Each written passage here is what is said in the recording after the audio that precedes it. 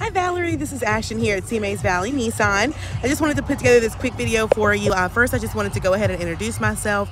I know a lot of times, you know, it's just nice to put a face with a name and know who you're talking to on the other side of things. Um, I'm actually standing out here in front of the Acura that you inquired about.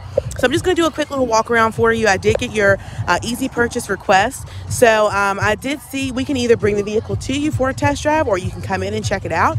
Uh, but again, in the meantime, here's just a quick walk around for you.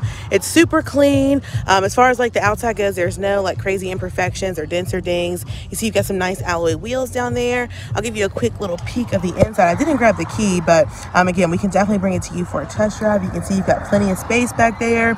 Super clean black interior. And then here's a quick little view of the front. So you can see you've got the heated seats, uh, leather interior. You've got all of your like Bluetooth, cruise control controls there. And uh, then you also have like your screen there. Um, and you do have dual climate control in here as well. Um, it's, you know, it's an Acura. So it's got all the nice bells and whistles, your turn light indicators here. Uh, and again, I'll just go around the front for you so you can see uh, the front and the grill. You got your headlights there. They're super aggressive. I love the style of the Acura's um, headlights.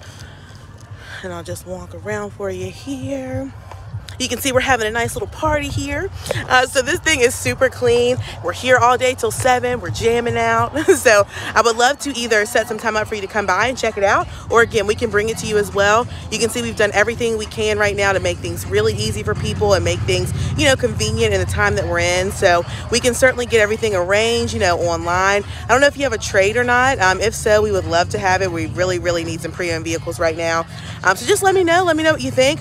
You should have a missed call from myself and I was actually out of the office when I had called. Um, but you can give me a shout. All my contact information is going to be listed for you below. So I look forward to hearing back from you and we'll talk soon. Thanks so much